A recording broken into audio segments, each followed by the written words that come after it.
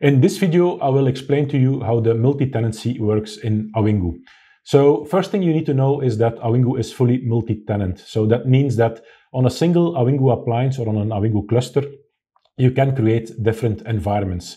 And each environment can have its own security, uh, an own Active Directory, uh, own branding, own configuration, own admin. So you can make completely isolated environments onto a single uh, Awingu appliance. To do that, what you need to do is actually very simple. Uh, in the system settings, uh, where uh, you go to global domains, you will see that uh, it's not only possible to add one domain over there, but you can add multiple ones. Actually, when, whenever you add an extra domain, you're creating automatically an extra tenant. So on uh, this uh, setup, what I have is I have my uh, training machine and I have already created two additional tenants. So in total, there are three tenants on this machine. I have my training, I have Superman, and I have Spider-Man. Yeah? Um, what you need to know is that uh, for each tenant, if you if you make the configuration, so if you add the, the domain in the uh, Awingu environment, there are a few settings which are important. So the, the first one which is important is actually the host headers.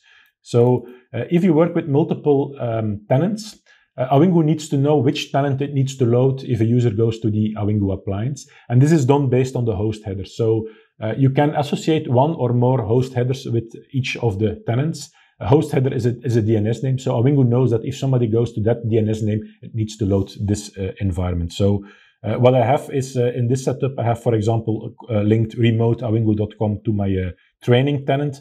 But for my uh, Superman tenant, I have superman.awingu.com. and for my Spiderman tenant, I have spidermanawingu.com.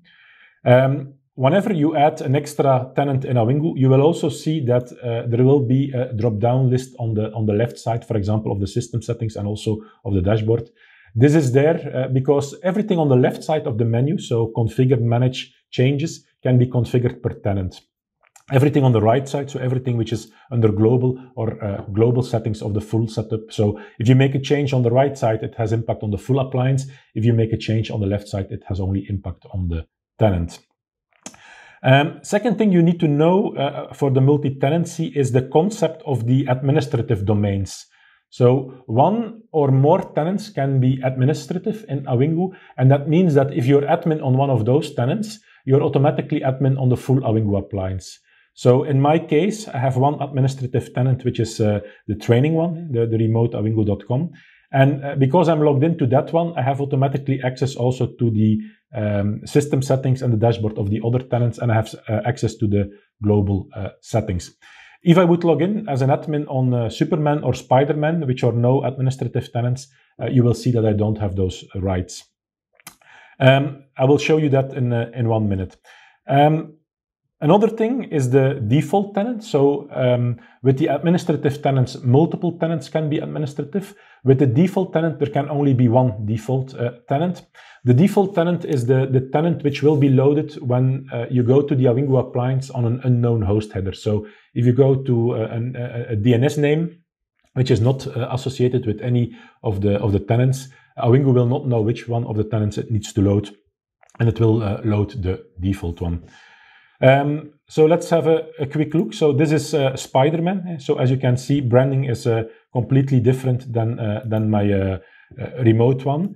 Uh, if I log in, for example, on Spider-Man with my with my account, um, I'm also admin on that tenant. If I open in here, for example, the, the system settings, you will see that I don't have any access to the, the global settings. I can only make changes to the uh, settings which are linked to this, uh, this tenant. And it's the same thing with the dashboard. If I open the dashboard in a uh, non-administrative tenant, I can see my uh, connections. I can see the uh, audit logs of only this uh, tenant, but I cannot see the audit logs of the other tenant. If I go back to my master tenant, so to my administrative tenant, and then, for example, I open over here the dashboard, uh, you will see that I have access to all the uh, audit files. So, uh, for example, if I go to the user logs, you will see that I have all the log files, both from Superman, Spider-Man, and my training. Of course, I can filter. If I only want to see the ones from uh, from Spider-Man, I can just filter in here. Same thing with uh, some generic uh, settings which are available for the full appliance, like the licenses or the, the servers itself.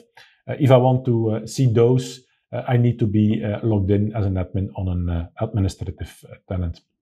There are no real limitations, so you can make as many uh, tenants as you want. There is also no overhead uh, on it. So um, it's not that, for example, if you have like two tenants of 20 users, it would consume more memory or CPU than uh, one tenant or 40 users. That's uh, that's not the case. So uh, it's certainly a feature which uh, which has a high value to be used in in the Nawingu setup.